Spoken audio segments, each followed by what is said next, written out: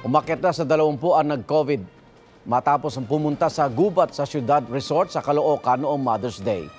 Ito'y matapos madagdagan ng labing-anim ang nagpositibo ayon sa Caloocan LGU. Kabilang 20 sa mahigit 200 bisita na na-trace na. Hinihintay pa ang resulta ng 55 pa. Una nang natukoy nung nakarang linggong apat na nagpositibo matapos pumunta sa gubat sa syudad.